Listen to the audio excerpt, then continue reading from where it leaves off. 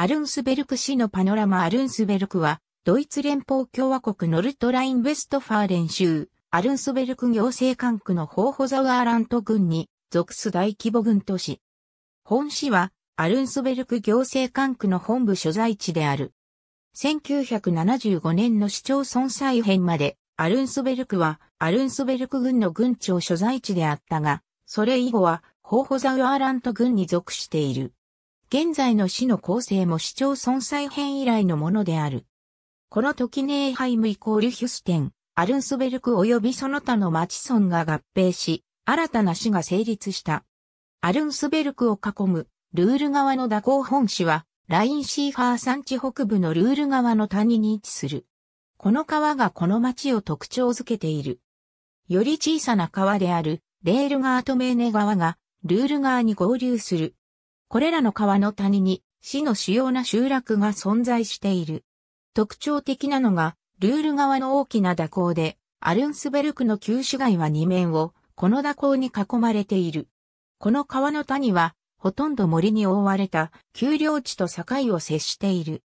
地域のすぐ北側には、アルンスベルクの森自然公園の高台がそびえ、南には、ザウアーラントロタール山地自然公園の市脈が走っている。アルンスベルクの地域は、海抜146メートルから448メートルに位置している。面積は193.72平方キロメートルである。その61.6%にあたる119.29平方キロメートルを森林が占める。アルンスベルク全体の16.6%が農業に利用されており、住宅、交通地は19.9%である。アルンスベルクは地質学的に見ると、レムシャイとアルテナ南部の東の市脈上に位置している。地域内は主にペンシルバニウムの岩石組成で構成されている。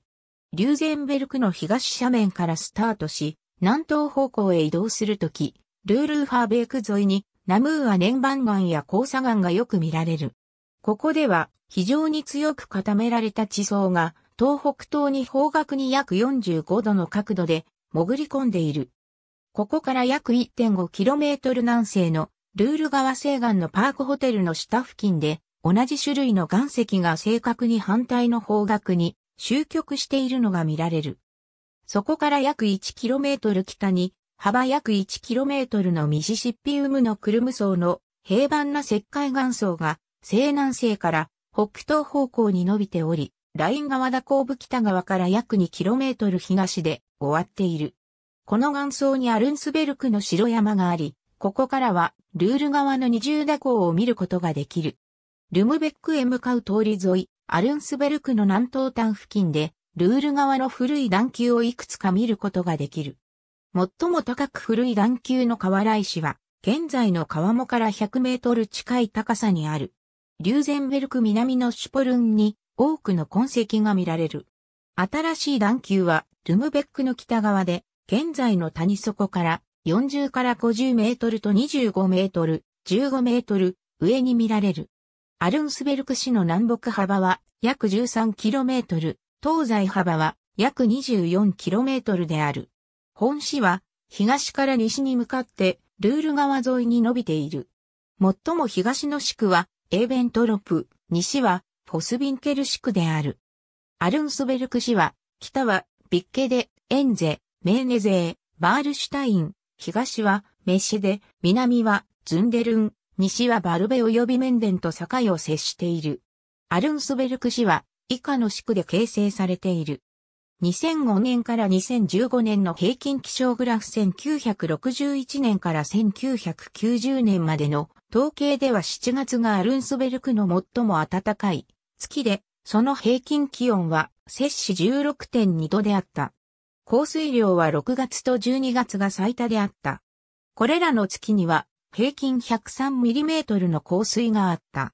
アルンスベルクの年間平均気温は摂氏8.4度、平均年間降水量は 1029mm である。アルンスベルクはルール川沿いにあるベルデン修道院のカロリング朝時代の土地台帳中789年に初めて記録されている。リューデンベルク城市の城山11世紀にベルルハク・ベルンハルト2世がリューデンベルクに城を建設した。二つ目の城は、同世紀の終わり頃に、フリードリヒ公船博が、向かいのアドラーベルクに建設した。この城が、初めて記録されたのは1102年である。城はこの年に、ケルン大司教フリードリヒ一世によって破壊された。これは、フリードリヒ博が、叙任権闘争において、皇帝ハインリヒ4世側に味方したためであった。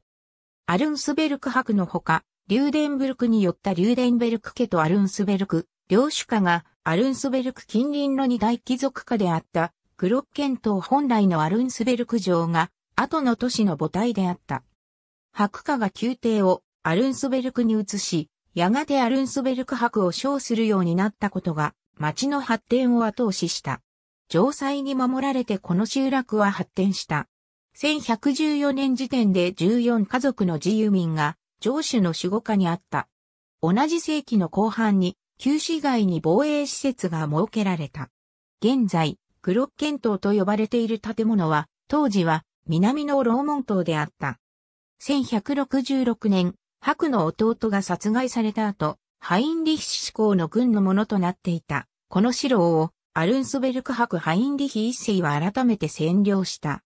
その後、ハインリヒ一世伯は町から離れた場所にプレモントレ会ベディングハウゼン修道院を設立した。その修道院教会は町の教区教会でもあった。アルンスベルクの住民は比較的急速に増加し、13世紀の初めにクロッケン島のもとに別の集落が形成された。両集落の住民は合わせて約1000人であった。1238年、両集落とベディグハウゼン修道院が新たな私壁で囲まれた。こうした防衛策にもかかわらず、この町はアルンスベルク伯ゴッドフリート4世とマルク伯、エンゲルベルト3世とのフェーデの際、1366年に征服され、海人に返した。ゴッドフリート4世は最後のアルンスベルク伯となった。彼は1368年に伯位をケルン選帝侯に売却した。まとまったラインベストファーレン領を創設しようとする努力を通じて大司教領は強化された。この町は当時、ケルン選帝侯が治めるベストファーレン公領のケルン、選帝侯の宮殿所在地であり、領邦等族の会議開催地であった。さらにこの町は、近世の司法センターオーバーフライシュトゥールの所在地でもあった。ベストファーレンの他のフライシュトゥールに対する命令も、ここから発せられた。しかし1444年から1449年のゾーストのフェーデによって、この努力は終わった。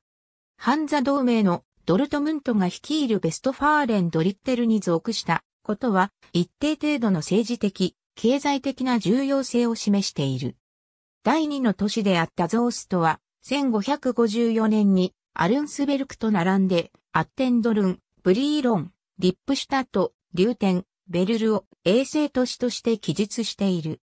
アルンスベルクはさらに、アレンドルフ、バルベ、エーバースベルク、グレーベントゥーン、ヒルシュベルクの6都市及び7自由都市の会に置かれていた。7自由都市は、レーデフェルト、ファイエノール、ハッヒエム、ハーゲン、ヒュステン、ランゲンシャイト、ズンデルンである。経済発展と、これに伴う都市発展は、選定校の統治以後狭く限定されていた。何世紀もの間人口は2000人以下に止まっていた。1600年の11件を除いて、町を焼き尽くした火災も、負の要因に働いた。これにより、死の保管文書も失われた。火災の後、都市圏は回復された。30年戦争の間、この町は何度も占領の危機にさらされた。1634年、当時スウェーデン軍についていたアルンスベルク出身者、エーバーハルト・ベッカーマンが最初の攻撃を行い、失敗した。町が助かったのは結局3点のセーノルベルトのおかげだとされた。これに感謝して1646年から毎年、ノルベルトのパレードが開催されている。1647年に出版されたマテウス、メイリアンの銅版画に描かれたアルンスベルク・プレモントレ会、ベディングハウゼン修道院は、近世の間宗教センターとして存続し、対抗宗教改革に伴って、その重要性を再び増した。この町にとって重要だったのが1643年のギムナジウム、ラウレンティアヌムの設立であった。町自体はゆっくりと拡大し、ランツベルガー豊富などいくつかの木組建築で特徴づけられた。1621年からの魔女狩りの時代には、魔女心理官、ハインリヒ・フォン・シュルトハイスによって、アルンスベルクで魔女裁判が行われた。これは、ギムナジウムの設立にも関与した。アルンスベルクの市長ヘンネケ・フォン・エッセンも、魔女裁判に告発され、拷問に耐えきれず、1631年8月14日に、獄中で死亡した。対抗宗教改革の時代に、イエズス宣教団の入植が行われた。ケルン選定高等地時代の初め数世紀の間、宮廷機能も比較的重大であった。16世紀末に城塞の多くの部分が堂々たる城官に改築され、変革が起こった。この城は7年戦争の際、1762年に大砲の砲撃によって破壊され、その遺構が保存されている。市自体もこれによりひどく破壊された。これにより、宮廷都市としての短い最盛期が終結したが、アルンスベルクは引き続き、ベストファーレン公領の政治的中心として存続した。これに関連して、破壊された上官の石材を使って、1784年に刑務所が建設された。1799年には市の一部に火災が起きた。再建計画は都市構造に変化をもたらした。狭い路地のあった場所に広い通りが設けられた。1794年、アルンスベルクはフランス共和国軍の前から逃亡したケルン聖堂参事会員の避難地となった。大聖堂の宝物の一部、特に三王の祠は1804年までベディングハウゼン修道院に収められていた。修道参事会はここで1801年に新たな大司教そして最後の選定校としてオーストリア対抗アントン・ビクトールを選出した。しかしすでにこの選挙は政治的に大した意味を持たなかった。旧帝国の崩壊と政界療法の終焉に伴い、この町はヘッセンダルムシュタット法白領となった。この時代、アルンスベルクは軍の駐屯地及び地方行政都市となった。この町は旧ベストファーレン公領とともにプロイセン領となった。これ以後ベストファーレン州に属した。この町は軍庁所在地でアルンスベルク県庁所在地となった。ヘッセン時代にはすでに顕著な人口増加が始まった。このため地域の拡大が必要となった。この頃、現在のイエーガー通りとベルク通りの建設が始まった。これにより約32件の家屋が新築された。1900年頃のシナゴーグを含むワルンスベルクの景観プロイセンの官僚流入に伴って19世紀前半の古い計画に基づいてシンケルが創始したプロイセン古典主義様式の全く新しい宿が成立した。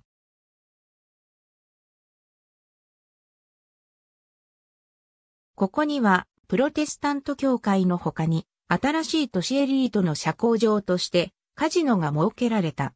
1817年から1830年までの間に、ベディングハウゼン修道院と旧市街との間に全部で75棟の新しい家屋が建設された。旧市街は1847年に大火災によって大きな被害を受けたが、すぐに再建された。新たな拡張部分について、市は19世紀前半にルール川を越えて、地方裁判所周辺でさらなる都市の拡張がなされた。特筆すべき工業発展がないままの人口増加には限界があった。この町は地方行政、官僚都市であった。鉄道網に接続したことで変化が起こった。アルンスベルクには機関車や客車を修繕するための鉄道使用保守工場が設けられた。この工場は長らく数百人の従業員を要する本市最大の企業であり、熟練校も雇用していた。これに伴う移住者の流入は、さらなる都市の拡大と建設をもたらした。20世紀へ移る頃のルールベルケの設立後にも同様の効果が見られた。アルンスベルク氏の19世紀の政治関係は、主に弱小下層階級の地元民からなるカトリック信者と移住してきたプロイセンの高級官僚からなるプロテスタントのエリートとの間の社会的、宗教的対比に強く影響された。両陣営間の最初の対立は3月革命以前にすでに現れていた。1848年、1849年、革命時、カトリックの仮想階級地元民は大部分が労働者側についた。教育を受けた人々や政府に近いグループは保守的、または穏健なリベラリズムを主張した。19世紀後半、特に文化闘争以後、大多数のカトリック住民が政治的カトリック主義に移行した。これに対して、プロテスタント系住民は状況に応じて自由主義や保守主義に同調した。最初期の最も重要な社会民主主義者の一人で、アルンスベルク生まれのビルヘルム・ハーゼンクレバーですら、ドイツ帝国の終焉までスピードの地方を固めることはできなかった。その理由は、鉄道運営者の反社会民主主義的姿勢、比較的低い工業化の度合い、カトリック系労働者とカトリック環境との密接な結びつきなどにあった。1905年にアルンスベルク市と後のネーハイムイコールヒュステンもエジー、ルールリッペ鉄道に関与した。1918年、1919年の革命の過程で社会主義陣営が形成されたが、バイマル共和制の危機的状況下で、スピード支持者と KPD 支持者に分裂した。総じて、ザウアーラントの他の市町村に比べて、経済的、社会的構造の観点から驚くほど強力であった。この発展は中央党の大きな重荷となった。帝国時代の政治的、社会的対立は重要な役割をほとんど演じなかったが、1918年以後、状況は変化した。第一次世界大戦直後数年間に、ネーハイムと同様に物価高騰騒ぎと最初のストライキが行われた。この他に、バルター・ラーテナウの殺害などに起因して、共和主義者と反共和主義者の間で互いに手荒な応酬が行われた。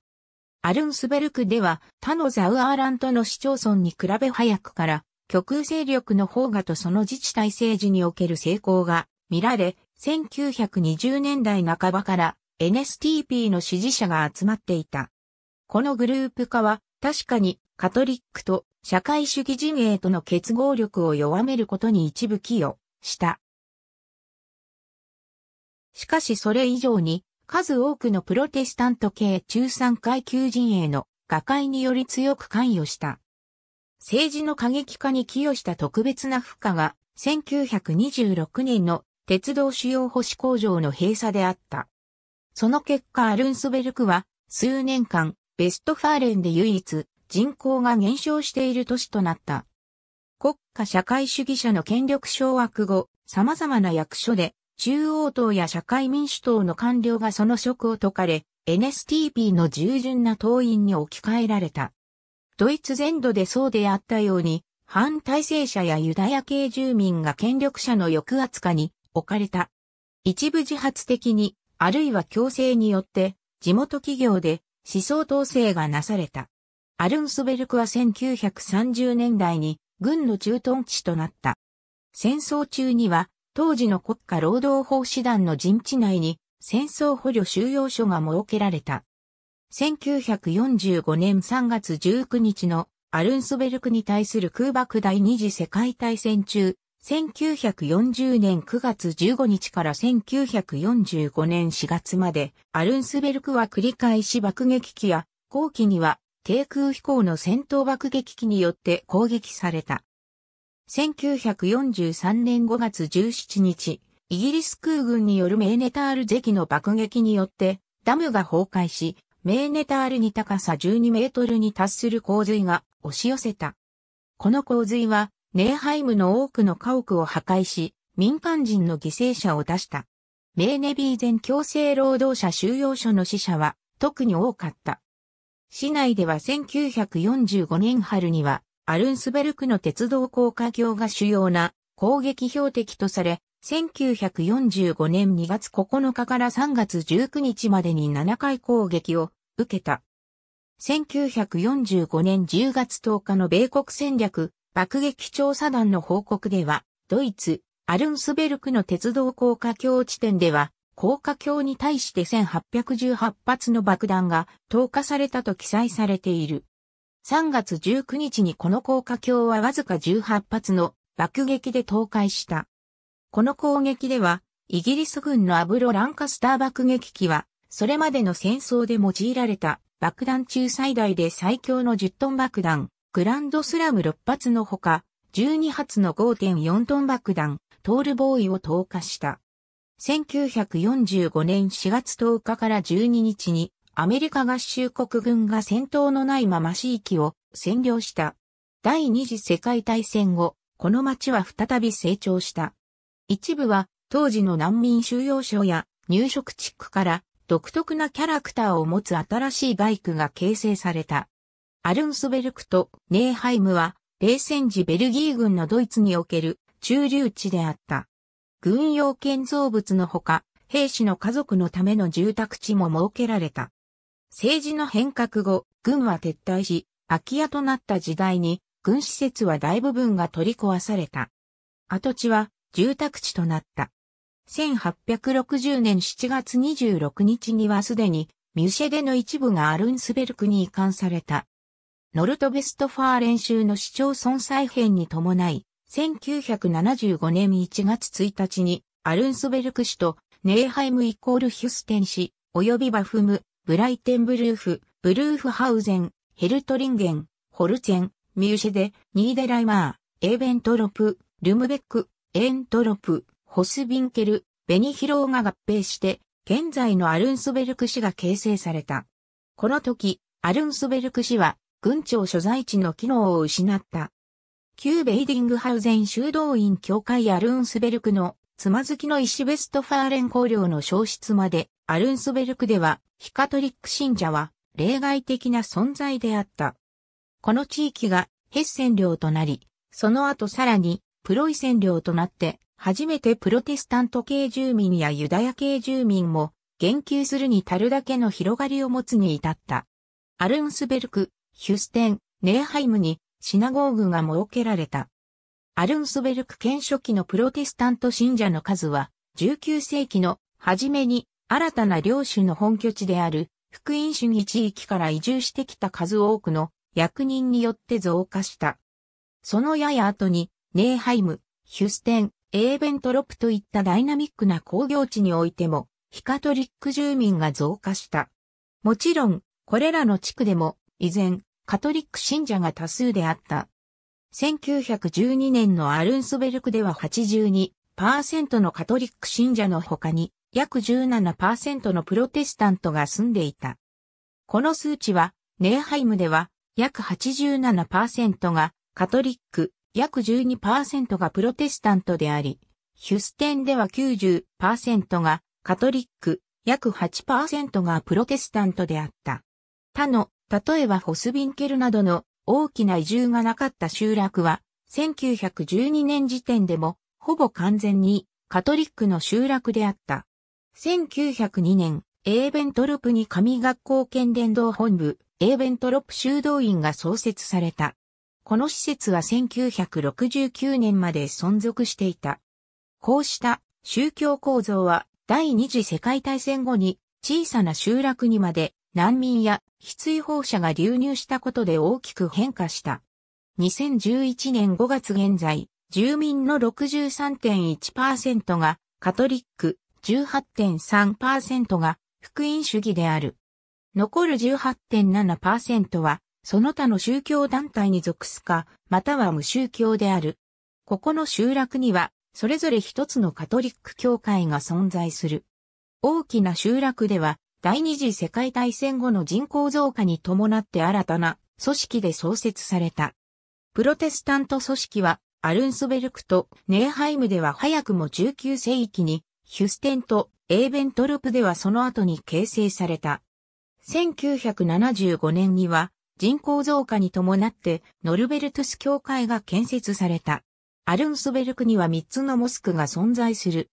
アルラーマモスク、イェニモスク、R イコールズナイコールモスクが、ネーハイム、または、ヒュステンにある。イェニモスクは1977年に創設された、ホーホザウアーラント軍内で最初のムスリム組織である。この組織はトルコイスラム宗教施設連合に属す。アルラーマモスクは2000年に設立され、イスラムアラブ連合によって運営されている。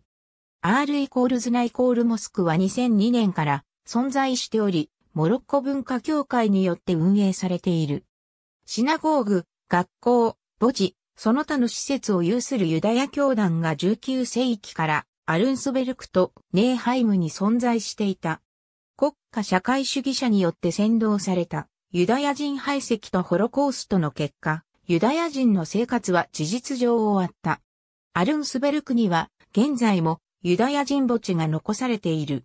ネーハイムでは1985年に民間投資家によって旧シナゴーグが復元された。現在は元の彩式や一部ドイツ語、一部ヘブライ語による聖書の文言を見ることができる。2001年以後このシナゴーグはネーハイム狩猟者協会の所有となっている。記念プレートやつまずきの石がホロコーストのユダヤ人犠牲者を想起させる。アルンスベルクの人口推移中世から近世のアルンスベルクの人口はわずか数百人であった。人口増加はゆっくりで数多くの戦争、疫病、飢餓によって繰り返し減少した。1472年と1635年、1636年のペストの流行や30年戦争では数多くの住民が死亡した。20世紀の工業化によって初めて人口増加が加速した。1900年に8500人だった人口は1965年に2万3000人に達した。1975年1月1日、アルンスベルク市とネーハイムイコールヒュステン市及び12町村が合併して人口8万1049人の新たな都市、アルンスベルク市が形成された。この人口が史上最高値である。ノルトベストファーレン州データ管理、統計局の研究値に基づく2005年6月30日のアルンスベルクの公式人口は76,303人であった。以下の表は各時点の地域におけるアルンスベルクの人口を示している。1835年までは推定概算値、それ以後は人口調査結果、または州統計部局の公式研究値である。一人口調査結果アルンスベルク市庁舎、アルンスベルク市議会は48議席で構成されている。1975年の市町村再編以後の新しいアルンスベルク市の市長を列記するハンス・ヨーゼフ・フォーゲルはアルンスベルク行政管区長官に就任し、2017年8月31日に辞職した。新市長選挙は2018年2月4日に行われたが、いずれの候補も過半数を獲得できず、2月18日に決選投票が行われた。その結果、スピードのラルフ・パウル・ビットナーが55%の票を獲得して新市長に選出された。図柄、青地に金色の爪とくちばしを持つ銀の足。紋章の成り立ち、赤字に右を向き、金の爪とくちばしを持つ足がアルンスベルク博の紋章であった。都市創建当時から、すでに市自身もそのマークとしてこれを用いていた。この紋章は1154年にハインリヒ一世博の印象に初めて現れる。アルンスベルクの和紙はドイツで最も古い紋章デザインの一つである。1278年に初めて死の印象に用いられていたことがわかっている。もともと赤の地色は17世紀にビッテルスバッハ家出身の選定校の庇護のもと、ビッテルスバッハ家バイエルンの青に置き換えられた。1975年1月1日の市町村再編以後、新しいアルンスベルク市の市議会は歴史的意義を考慮してこれまでの市の紋章を保持することを1976年1月14日に決議した。アルバユリアとの姉妹都市関係は1974年にまで遡る。これはドイツとルーマニアの最も古い姉妹都市協定であり、さらに当時の西ドイツの自治体といわゆる東側陣営の自治体との間の最初期の姉妹都市協定の一つであった。この関係は特に1989年の政治的変化とルーマニア経済の凋落後強くなった。その活動は当時ルーマニアで不足していた様々な物資をアルバユリアに向けて輸送する振興協会によってなされた。また冷戦中にも旧ネーハイム市と第二次世界大戦後に当時のローゼンベルクから追放されたドイツ人との支援協力関係が存在していた。1989年以後この結びつきは現在のポーランド領オレスノとの姉妹都市関係に発展した。この町に対する支援についても、アルンスベルクでは信仰協会が存在する。演劇やオペラは早くも17世紀や18世紀からベディングハウゼン修道院やギムナジウム・ラウレンティアヌムで上演されていた。この他に旧視聴者の現在の騎士の間が旅芸人一座に利用された。固有の劇場は20世紀になって初めて設けられた。ザウアーラント劇場はもともと1968年に主に近くの学校の行動として建設された。しかし長い目で見れば演劇、オペラ、音楽演奏や様々な芸術の展示スペースとしての機能の方がより重要であった。この他に1950年代からヘルトリンゲン野外、ビューネが存在する。これは市民団体によって運営されており、毎年一般向けあるいは子供向けの演劇が上演される。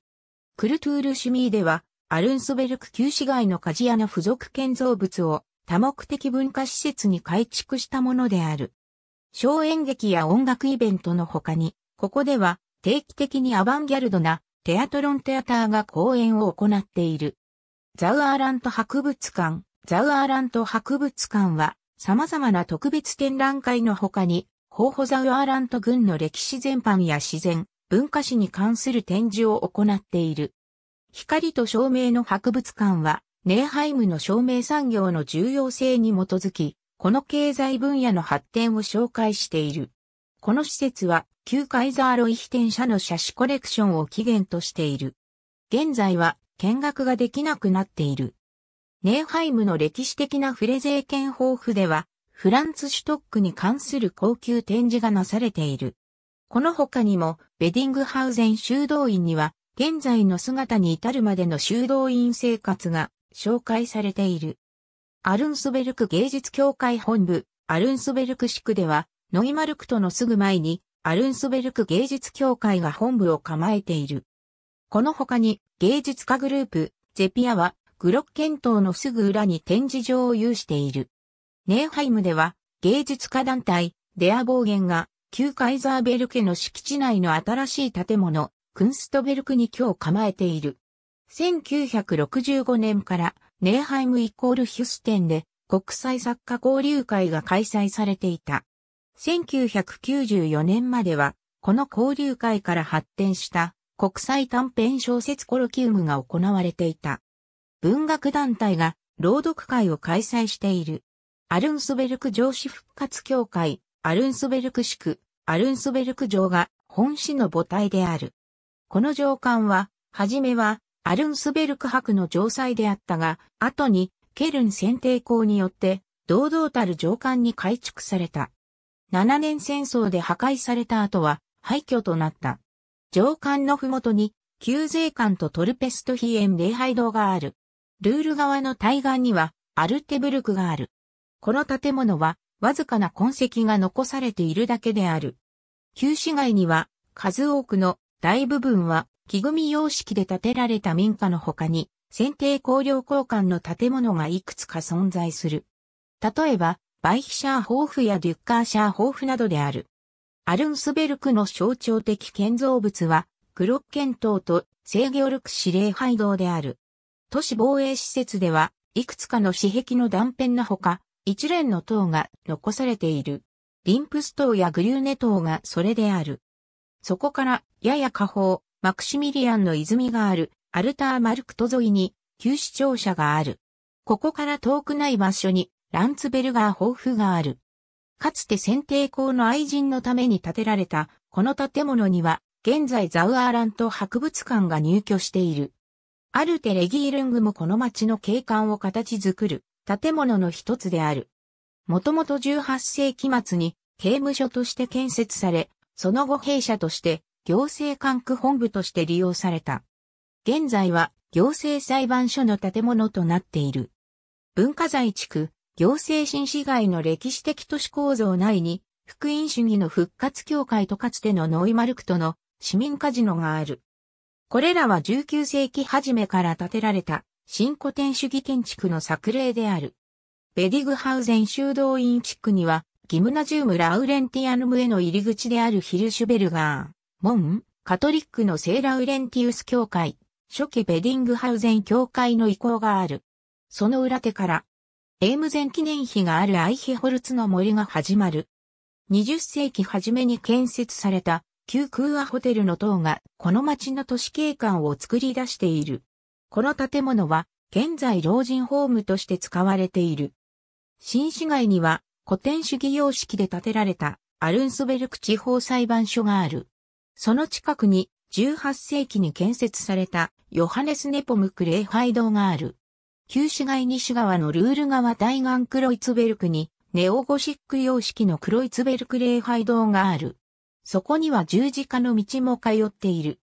他のシクヘルトリンゲン城ヘディングホーフェン城フォスビンケル、野生林の航空写真、アルンスベルク市には15の私立、墓地、6つのカトリック墓地、3つのユダヤ人墓地がある。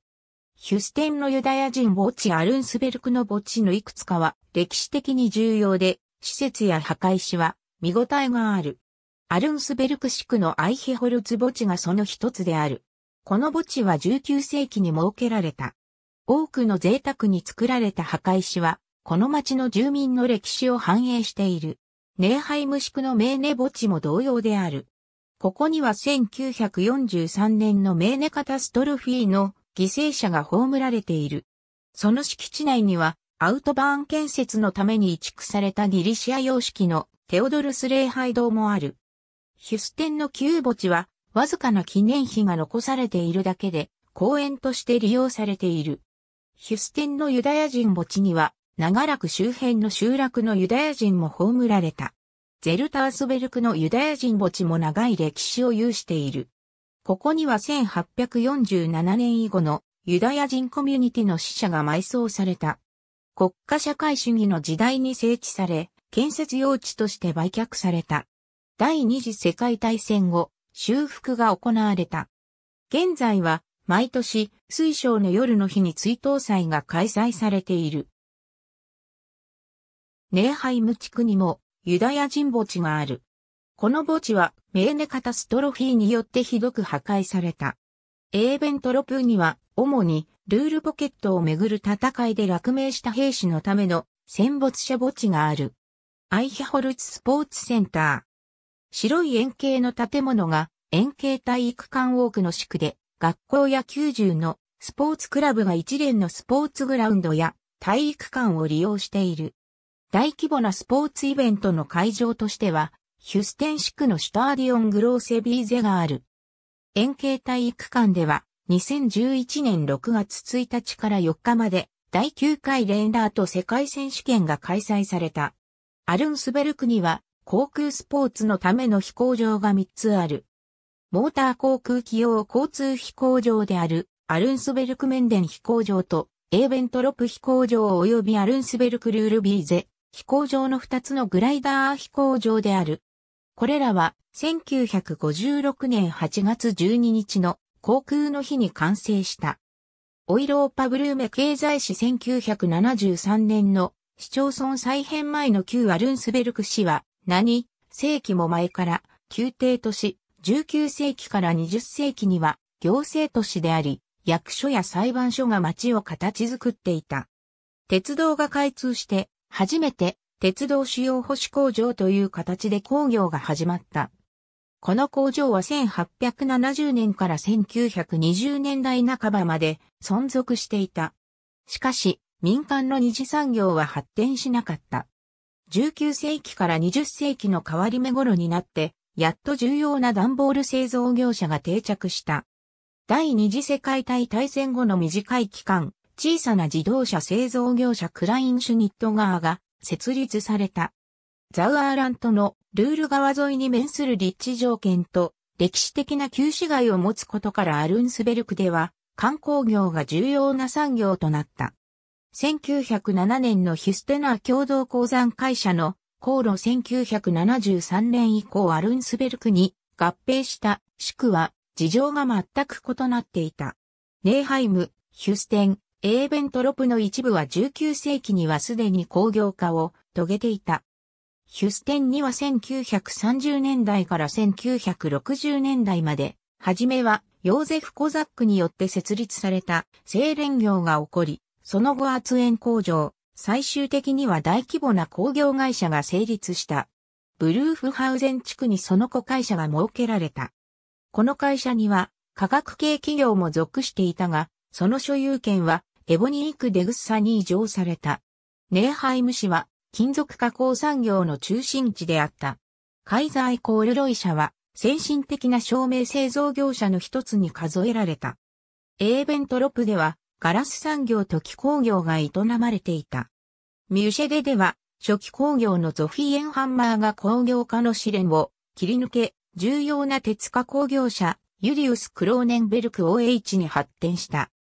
他の地区では、19世紀から20世紀初頭にはまだ農業が主であり、あるいはヘルトリンゲン、ホスビンケル、ルムベックなどは工業系企業の発展と結びつき、ベッドタウンとしてなっていった。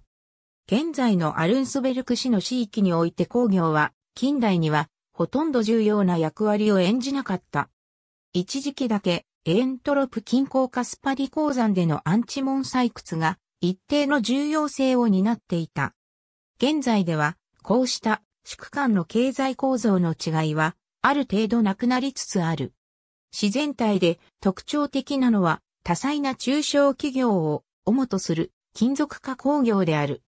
現在の経済構造トリルクスのアルンスベルク本社、工場1970年代に成立した新たなアルンスベルク市は、現在では単なる行政都市ではなく、ホーホザウアーラント郡の経済的中心地でもある。以前と変わらず、製紙業及び紙加工業が大きな重要性を有している。衛生用紙製品製造のリーディングカンパニーである、ベパもその一つである。レノデメディチは段ボール箱を製造している。主に極東からの競合があるにもかかわらず、照明産業、電子産業とその下請け業者は中心的な役割を演じている。BJB 社はアメリカ、ヨーロッパ、アジアに支社を持つ電子部品の主導的な製造業者である。トリルクス、エルプロー、バンカンプロイヒテンは照明器具製造分野の企業である。アルンスベルクはイーグロ照明コンツェルンのドイツ支社所在地である。電子機器製造のクロアー社もこの分野に属す。日用品製造業者はエスコや高価値の煮沸鍋製造業者ベルンデスの金属加工業も重要である。A&E ケラーは自動車下請け業者である。ユリウス・クローネンベルク OH 企業グループには様々な金属加工業者が属している。木工業はザウアーレンダーシュパンプラッテや木製結合板製造のプファイデラーベルケが担っている。ザウアーレンダーシュパンプラッテは国内の原材料を内装扉の部品に加工しており、ドイツにおけるパーティクルボード技術のリーディングカンパニーである。ゼレクタ社は主に銀行、信用金庫用の設備、及び船舶の製造業者である。その他の分野の企業もある。例えば、スポーツ用品、警察用品製造の生まれくす、自動車や飛行機のための安全ベルト製造業者シュロートグルテ、などである。さらに科学系企業のパーストルプ、モーター部品製造業者、デッシュアントリープステクニーク、ダルマー、高価値な日用品製造業者インペリアル、切断機製造業者のグレフ兄弟社、メタショダナ製造などもある。中小印刷業者の他に、世界各国に死者を持ち合計1150人を雇用する装飾紙製造業者インタープリント社が存在する。エネルギー分野では、アルンスベルクは RWE の地方代理店本部の所在地である。ここから35自治体の電力が管理、供給されている。観光業2007年、アルンスベルクには延べ16万5687泊の宿泊客があった。ゲストは平均3.2泊滞在した。パッケージツアーは1512回で13,200人がこの街を訪れた。アルンスベルクの観光施設で特に成功したのが、アルンスベルクを通るルールタール自転車道とザウアーラントイコール森林ルートである。ザウアーラント森林ルートの他にもアルンスベルクには多くの森の遊歩道がある。例えば、2011年にオープンした全長 12km の選定校のアルンスベルク、両場もその一つである。同じく大きな成功を収めたのが、一部は全般的な一部はテーマを絞って定期的に行われる市内ツアーである。この他に、フォスビンケルやセーリンのイベント、騎士の食事、アルンスベルクの居酒屋の夜や、アルンスベルクのクリスマスマーケットといった特別な催しもある。アルンスベルク駅現在アルンスベルク市内には、オーベレルールタール鉄道沿いに3つの駅がある。市域内は、市バスシステムで結ばれている。運営は、ルールリッペ地方交通、GmbH 及びルールジークバス交通 GmbH である。両社は共に隣接する市町村への地域交通も担っている。連邦道 B7 号線、アウトバーン A445 号線及び A46 号線が重要な道路である。市域内に以下の A46 号線のインターチェンジがある。ネーハイム IC、ネーハイム南 IC、ヒュステン IC、アルンイコールアルトシュタット IC、アルンスベルク、東 IC。フォスビンケル近郊のビッケデーヒトハウゼンとの市境に1970年からアルンスベルク面でに飛行場がある。この飛行場は主にビジネス機の飛行場として利用されている。この他にアルンスベルク航空スポーツクラブ EV が航空学校を運営している。この飛行場は2000年まではホーホザウアーラント軍が運営していたが、その後民間のアルンスベルク面電飛行場会社が引き継いだ。この他に、アルンスベルク市区にアルンスベルクグライダー飛行場、エーベントロップ市区にエーベントロプルールビーゼン、グライダー飛行場がある。アルンスベルクがインテリゲンツブラッドのタイトルヘッドアルンスベルクは、宮廷都市として、その後は行政管区本部所在地として何世紀も前からメディア都市でもあった。18世紀にヘルケン書籍印刷、出版が設立された。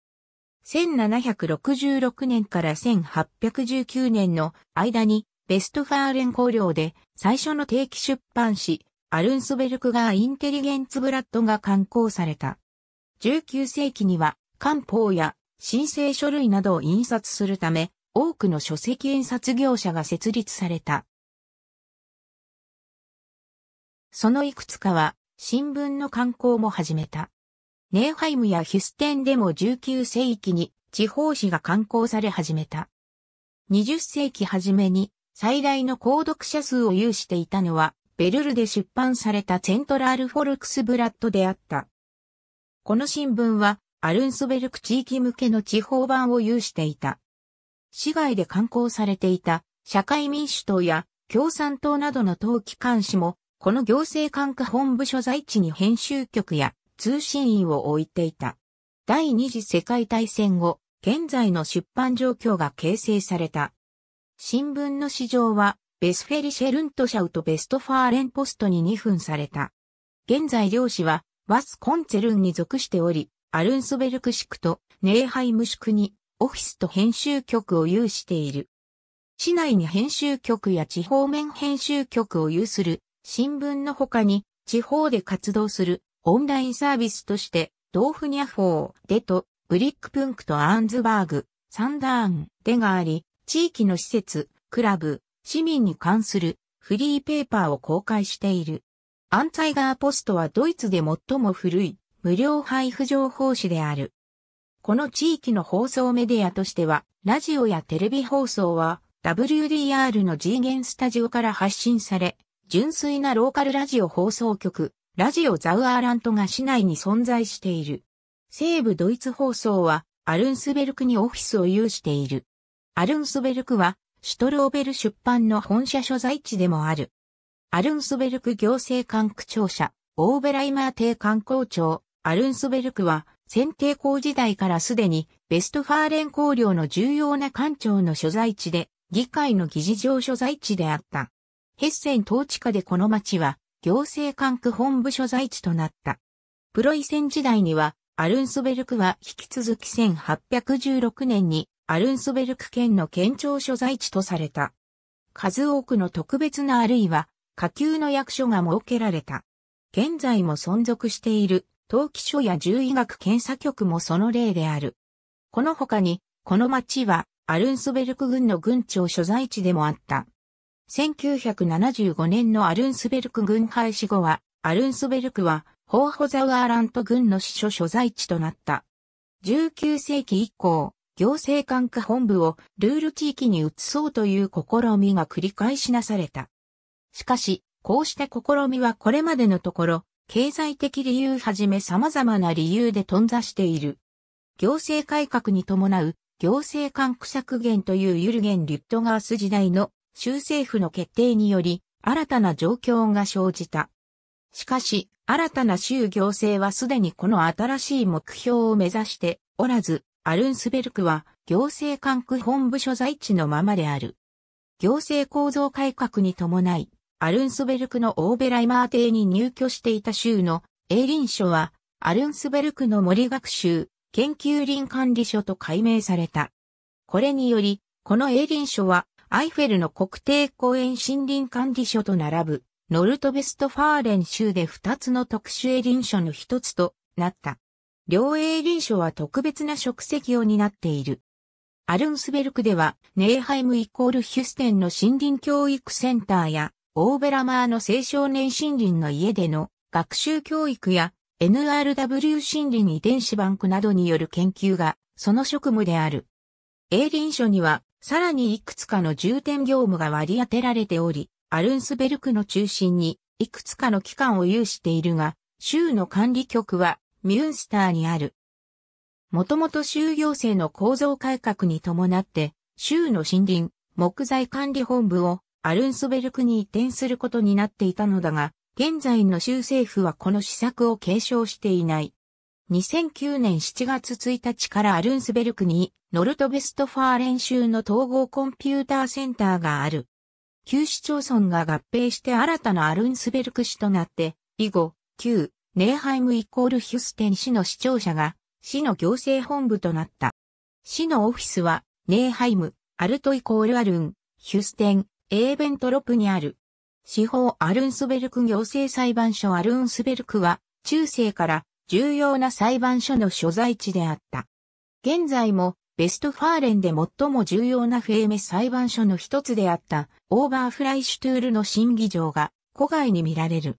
この他に市の裁判所と選帝侯の宮廷裁判所があった。シュレッペンベルクにゲルゲンベルクと呼ばれる処刑場があった。1929年に記念碑が建立された。ヘッセン時代とプロイセン時代にはアルンスベルクは宮廷裁判所の所在地であり、一時的に上級地方裁判所の所在地にもなった。19世紀の構造改革後、アルンスベルクは地方裁判所の所在として存続した。さらに区裁判所と特殊事案の裁判所が設けられた。特殊事案の裁判所とは、行政裁判所と労働裁判所である。この他に、アルンスベルク州弁護士会もある。アルンスベルクには、アルンスベルク、ヘルベークザワーラント商工会、南ベストファーレン職人会、小売業者連合、ホテル、旅館連合、ベストファーレン中央企業連合会、EV が本部を置いている。この他に、例えば DGB や IG メタルといった事業所を含む労働者組合がある。フランツシュトックギムナジウムアルンスベルク市民大学、アルンスベルクには多彩な学校形態が存在する。このため、本市は近年独立した学校プロジェクトのパイロット自治体に参加している。アルンスベルク市は32校の運営母体である。在籍する学生数は2014年、2015年の学年時点で合計8716人であった。2020年、2021年の学生数予想は6976人で、2014年、2015年に比べて31.1%減少するとされている。多くの地区に数多くの基礎家庭学校があり、その多くに本家庭学校もある。2014年以降、アルンスベルクとネーハイムには、それぞれ一校ゼクンダーシューレが設けられており、さらにアルンスベルク、ネーハイム、ヒュステンには実家学校とギムナジウムがある。最も長い伝統を持つのが17世紀に設立されたギムナジウム・ラウレンティアヌムである。この他にアルンスベルクにはカトリックのギムナジウム、マリエンギムナジウム・アルンスベルクがある。ネーハイムにはフランツシュトックイコールギムナジウムとカトリックのセウルイコールギムナジウムがある。学校教育は夜間ギムナジウムによって補足されている。この他に養護学校が4校、アムアイヒホルツ実家学校などのその他の学校がある。さらに多くの公立職業補修専門高等学校やアルンスベルク職人会の学校がある。商工会も職業教育、継続教育機関の運営母体となっている。この他に、アルンスベルクには、ハーゲン通信大学の学習センターがある。成人教育には、私立市民大学がある。改築されたホテルツーアクローネに、ホーホザワーラント郡の音楽教育センターがある。マリエンホスピタル現在のアルンスベルク市には、病院が3院ある。アルンスベルクのマリエンホスピタルは長らく完全な私立病院であった。この病院は19世紀半ばに設立された。当初は旧市街にあったが、1913年にリューゼンベルクの現在の場所に移転した。ヒュステンのカロリーネンホスピタルはカロリーネフォン・フィルステンベルクとその夫によって1870年に設立された施設を起源とする。現在も、東大のフィルステンベルク男爵が管理事務局長を務めている。ネーハイムの聖ヨハネスイコールホスピタルは、困窮者、罹患者救済協会を起源とする。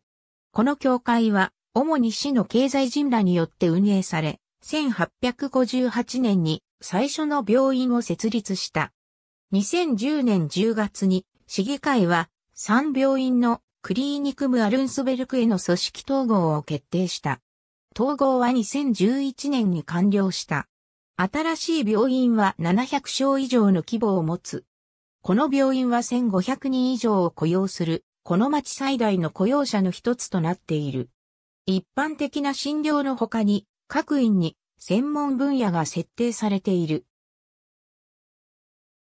アルンスベルクには泌尿器科と伝染病隔離病棟がある。ヒュステンは、産科、ネーハイムは、老人医学と精神病部門を有している。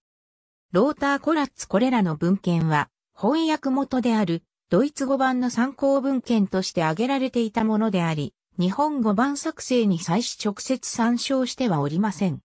第二次世界大戦時、イギリス空軍によるメーネタール関の爆撃によって、ダムが崩壊して引き起こされた洪水。ありがとうございます。